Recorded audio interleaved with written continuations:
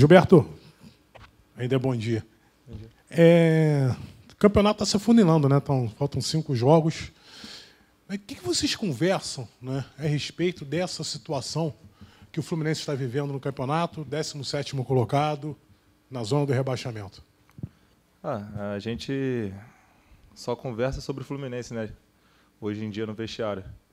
Porque a gente vem sempre conversando o que, que tem que melhorar, que a gente pode melhorar no, no último jogo, cada um e coletivamente. É, a gente sabe que desde o início do campeonato a gente vem criando muito e não vem, às vezes, concluindo, fazendo os gols, que é o que importa para a gente conseguir a vitória. E a gente conversa bastante sobre isso, a gente vê o que precisa melhorar, o que precisa mudar no treinamento para a gente é, poder melhorar durante o jogo. Acho que o que a gente pode fazer de melhor no treino para dar resultado no jogo é o que mais a gente conversa dentro do vestiário. Duas e uma para você. A primeira, né, você vê alguma vantagem de vocês, jogadores fluminenses, jogar na próxima segunda-feira diante do CSA, sabendo dos resultados dos concorrentes diretos do Botafogo, do Ceará e do Cruzeiro? E a outra pergunta, o que, que você poderia falar sobre o teu rendimento? Os torcedores fluminenses não estão gostando das suas atuações. O que, que você poderia falar especificamente sobre essas duas questões, por favor?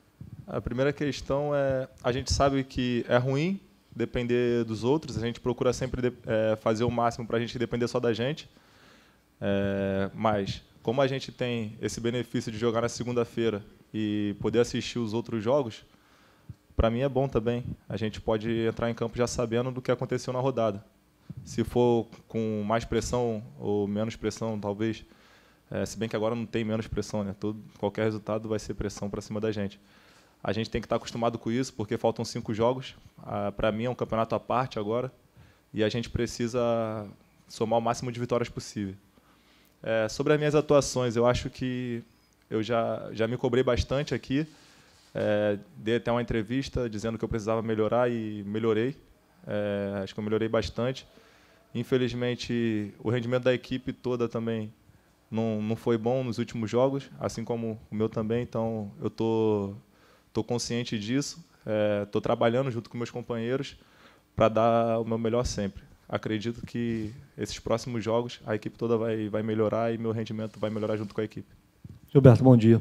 É, você falou aí agora de pressão, né? A gente sabe que num momento como esse de definição no campeonato, um time grande quando ele está lutando contra o rebaixamento, é, não me recordo agora de cabeça se você passou por essa situação já na tua carreira. A gente sabe que a pressão é muito grande, né? Porque tende a ser muito maior, porque a cobrança é muito maior, obviamente, em relação a um time que está acostumado a ir e voltar da Série B para a Série A. É, como é que vocês têm lidado com essa pressão, você é, principalmente, e o grupo como um todo, sabendo que a cada jogo é uma, de fato uma decisão e, e, por exemplo, agora vem de, uma, de um resultado em que o time tinha tudo para ganhar e conseguir dar uma respirada, mas novamente toma um baque. Como é que vocês vêm lidando com isso para não deixar que essa pressão tão forte interfira no rendimento de vocês em campo? Porque a gente sabe que agora é, qualquer coisa que possa vir atrapalhar pode é, ter consequências sérias aí no final. Né? É, aqui no Brasil não, não tinha vivido esse momento de, de, de, de brigar pela zona de rebaixamento. É, ano passado, talvez, mas ano passado eu não estava jogando. Quando eu saí, eu saí em agosto, o time ainda não estava nessa situação. É, mas eu sempre conversei com meus companheiros, alguns que já passaram por isso, e sempre a maioria diz a mesma coisa. Quando não, não deixar chegar, é, não deixar o time ficar lá embaixo, porque para subir parece que tudo dá errado. E nesse momento eu tô, tô, tô vivendo esse momento. É, parece que a gente faz o máximo que a gente pode e as coisas acabam dando errado. Parece que no final, às vezes, igual nesse jogo contra o Atlético Mineiro, a gente dominou o primeiro tempo, criamos bastante chance, fizemos o gol e no segundo tempo, no final do jogo, acabamos levando o gol.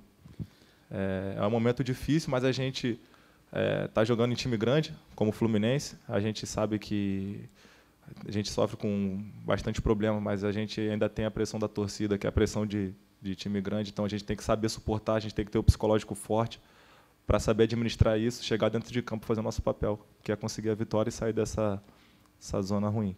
Bom dia, Gilberto. Bom dia. É como o Gerson falou ali, é, você você mesmo reconheceu que teve uma fase que você não estava jogando tão bem e muitas, muitos torcedores estavam pegando no seu pé. Né? Como é que você fez para lidar com essa crítica de parte da torcida? O que, que você fez psicologicamente? E para conseguir assimilar isso e não afetar seu rendimento? Ah, acho que foi o momento que eu mais me, me conheci, né? Porque eu ainda não tinha vivido um momento assim de do torcedor estar tá pegando tão firme no meu pé como foi é, dessa vez. Porque eu tinha que ouvir, ficar calado muitas vezes, é, tipo passando ali no corredor e torcedor ali bem pertinho de mim, falando coisas ruins com a minha família do lado. E eu sou um cara que tenho pavio curto, sou um cara explosivo e me controlei bastante, porque eu sabia que o torcedor está na, tá na razão dele, ele quer o clube vivendo. Ele quer o clube dele, o Fluminense, que é um clube grande brigando em cima. E se as coisas não dão certo e tiver que e tiver um jogador para eles escolherem para ser o, o mais cotado a ser cobrado, vai ser esse. Até porque do, ano passado eu fiz um ótimo ano, a torcida me abraçou. É, e eles querem o Gilberto do ano passado. Então eu entendo isso e trabalhei bastante minha cabeça para entrar em campo e estar tá sempre dando o meu melhor. E é isso que eu estou fazendo para para nos próximos jogos poder melhorar o máximo possível. E qual recado você poderia passar assim para esses torcedores assim que ainda desconfiam assim do seu potencial? Ah, eles podem ter certeza que eu estou me doando o máximo, estou trabalhando bastante, trabalhando duro. É de manhã, de tarde em casa, o que eu puder fazer, eu estou fazendo para para poder ajudar o clube. Eu tenho a confiança de, de, praticamente todos os treinadores que passaram aqui confiaram em mim e eu agradeço muito porque eles sabem do, do meu potencial. É, o clube acredita em mim e, e tenho certeza que até esses torcedores que me cobram também acreditam em mim, é, esperam de mim o melhor. Por isso eles estão me cobrando. Então podem acreditar que eu estou fazendo o máximo e com certeza minha hora vai chegar ainda esse ano, se Deus quiser. E o time do Fluminense esse ano tem uma tendência a jogar muito pelo lado esquerdo ali, né? No início do ano era com o Everaldo, agora ali com o Johnny, Caio Henrique. Você acha que isso prejudica até teu rendimento de você ficar meio sozinho ali pela direita? É, isso foi um, um problema desde o início do ano, né? Eu não fiz a pré-temporada com o time. Acabou que começou com a pré-temporada e, e a Taça Guanabara toda com o Ezequiel jogando. E ele é um jogador mais defensivo e o lado esquerdo foi o mais explorado, né? Tanto que jogadores como Everaldo, depois o, o Johnny quando não jogava centralizado, jogava sempre por ali, Caio Henrique, Alan, Ganso, todo mundo tem característica, até o próprio Daniel que joga pela direita tem característica de querer jogar pela esquerda. E acabou ficando um pouco sozinho na hora de atacar ali pelo lado direito e, consequentemente, também na hora de defender, porque a maioria está tá jogando por ali. Mas o Diniz sempre procurou me, me ajudar ele conversava comigo bastante, que eu era um jogador de força, um jogador que, mesmo com pouca companhia, conseguia me virar. E isso, para mim, também não, não é um problema. Se eu, eu procuro me trabalhar bastante, dar, tá sempre dando o meu jeito, que se eu tiver pouca companhia ou não para defender ou atacar, eu vou ter que, ter que me virar. Então, é isso que eu penso. Eu procuro sempre conversar com meus companheiros, com o Marcão também, para poder me ajudar, mas é, na maioria do, dos jogos dentro do campo não tem, não tem tempo para isso, né? Então eu tenho que, que me esforçar para fazer o máximo para não deixar acontecer nada de ruim pelo lado, pelo meu lado e poder ajudar lá na frente. Gilberto, boa tarde. Como é que vai ser para o grupo reencontrar o CSA? time para o qual o Fluminense perdeu no turno, que acabou marcando a, a saída do técnico Fernando Diniz. Não é só a saída de um treinador, foi o encerramento de um ciclo, um período que vocês tinham feito desde o início do ano, um treinador que deixou muitas marcas no grupo. Foi justamente depois desse jogo que isso aconteceu e bom, desde então a gente vem acompanhando as mudanças de treinador e a tentativa do Fluminense de sair da situação do Z4 que tinha entrado naquela derrota. Como é que vai ser reencontrar esse time pensando no, no, no que, que aconteceu, tudo que aconteceu depois da, da derrota do no encontro no primeiro turno? É, a gente sabe toda a história que teve aquele jogo, né? É, muitos jogadores aqui devem a evolução que teve na carreira ao, ao Fernando Diniz. E aquele jogo, infelizmente, marcou a, a saída dele. Mas é, a gente tem que conversar e saber lidar com, com o passado, saber que o que ficou de ruim naquele jogo ficou lá.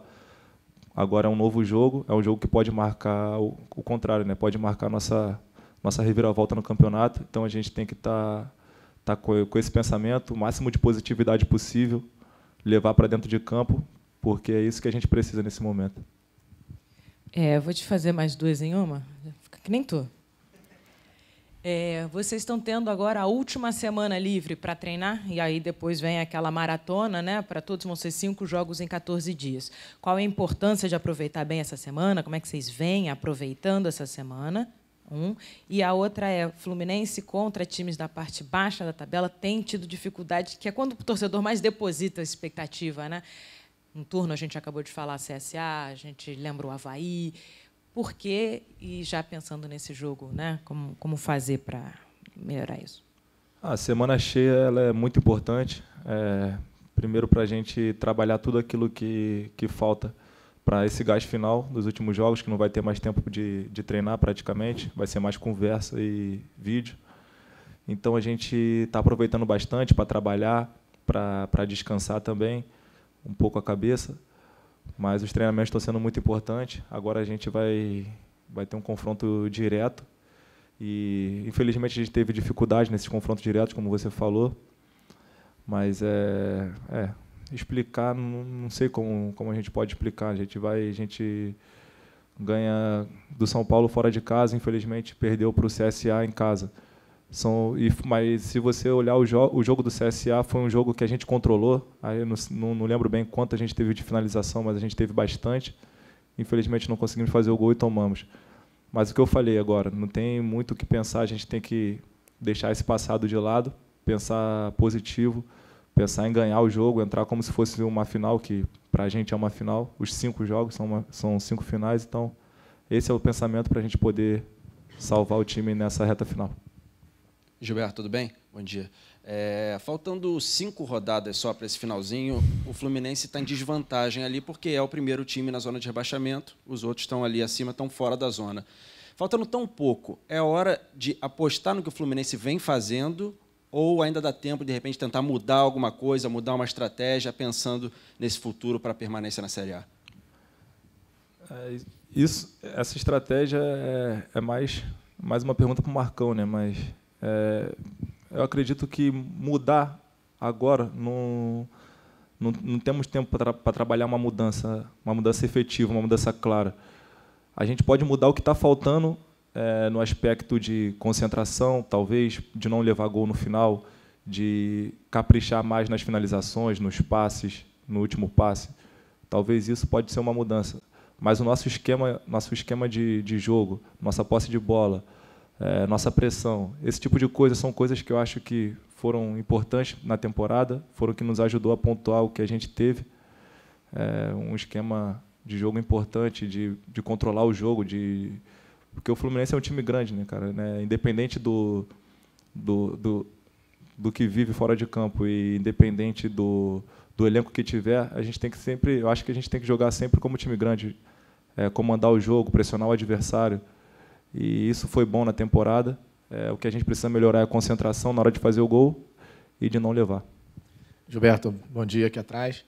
É, a gente que acompanha o dia a dia aqui do CT, né, a gente percebe que, apesar de toda a pressão, de toda a situação, é um clima tranquilo, né? de, de, de um convívio muito legal aqui entre os jogadores. Mas eu queria saber como é que vocês conversam sobre esse tipo de pressão e até que ponto essa ansiedade, porque na hora do jogo, a impressão que de repente passa em alguns momentos que o Fluminense fica um pouco ansioso para fazer o gol, é o chute vai um pouco mais para cima, vai para o lado. Como é que vocês conversam isso aí? A gente vê esse clima mais tranquilo e no, na hora do jogo parece que tem um pouco mais de ansiedade. Como é que é esse dia a dia para a gente? Consegue fazer uma comparação? Ah, realmente, o, o, o, grupo de jogadores que tem aqui é um grupo muito humilde, muito unido, que, que tem uma amizade muito boa, é, fora de campo. E a gente tem conversado bastante. Realmente, a ansiedade parece que tem pesado um pouco é, durante os jogos. A gente vem querendo mostrar para o torcedor que a gente quer e eles, eles cobram a gente bastante, então parece que a gente vai querendo fazer o gol de qualquer jeito e não é assim, a gente tem que ter mais calma.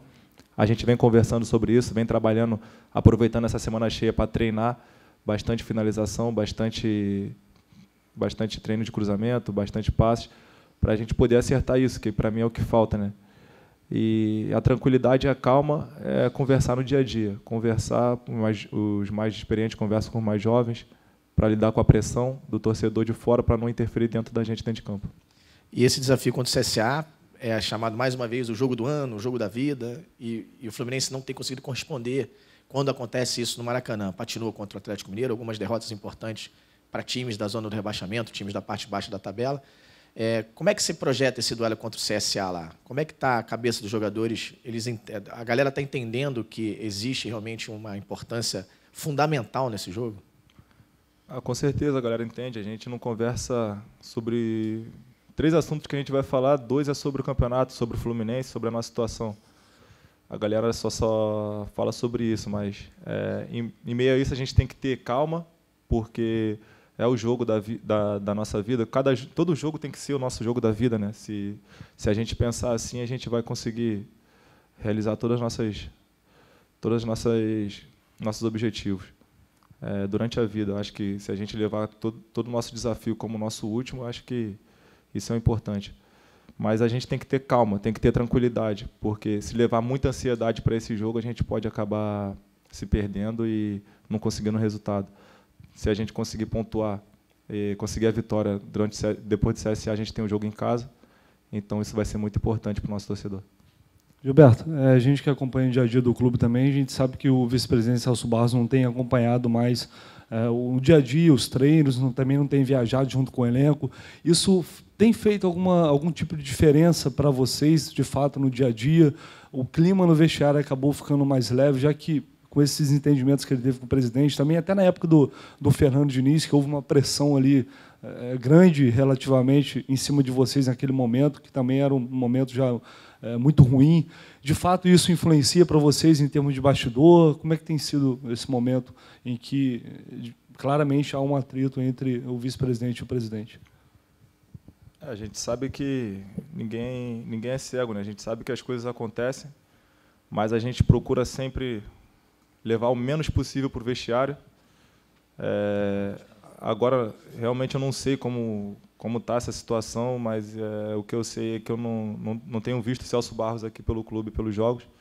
Quanto menos isso, quanto mais, é, quer dizer, quanto menos chegar coisa de fora para a gente, é melhor. Então, eu prefiro me desligar um pouco disso e focar só no, no Fluminense, só na nossa, no, dentro de campo, que é o que a gente precisa agora para sair dessa situação. Gilberto, é, você poderia falar sobre o seu futuro, né? O teu contrato terminará no dia 31 de dezembro, você pertence à Fiorentina, está emprestado ao Fluminense. O seu futuro, o que você poderia falar? Cara, meu, meu futuro é, por enquanto, é isso que você disse, né? Eu tenho um contrato aqui até o final do ano, com a Fiorentina até 2021, mas meu futuro vai depender do que eu fizer aqui com o Fluminense. Então, eu procuro estar focado dentro de campo para poder planejar meu futuro lá na frente.